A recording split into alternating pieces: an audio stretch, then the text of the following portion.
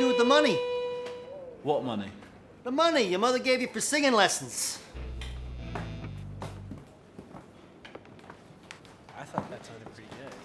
There's Nothing wrong. with This is the band Richie wants to see? Uh-huh. He liked their demo. Did he hear it before or after he started using again? Very funny. It's not funny. They're horrible. They can't play. I couldn't understand a word of their lyrics, and the singer smells like ammonia. Well, Richie thinks they have something, and I do too.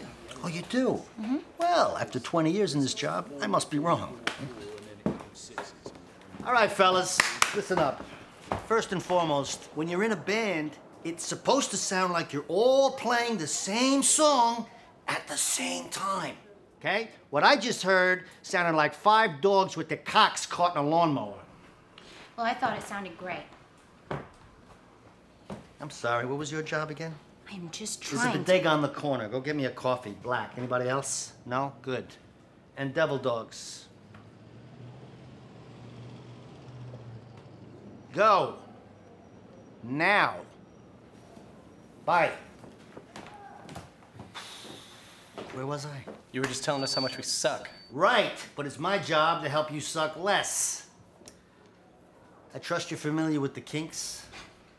This is a bloody joke. Well, that's up to you. All day and all of the night, I want you to learn it. For what? To play it for Richie Finestra.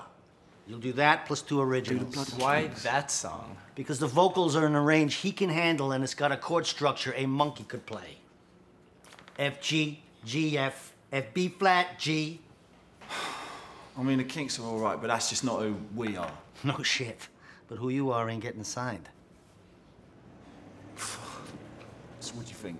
I don't know, man. I, come on, man. Look, we can do it. Just do it. All right, fine.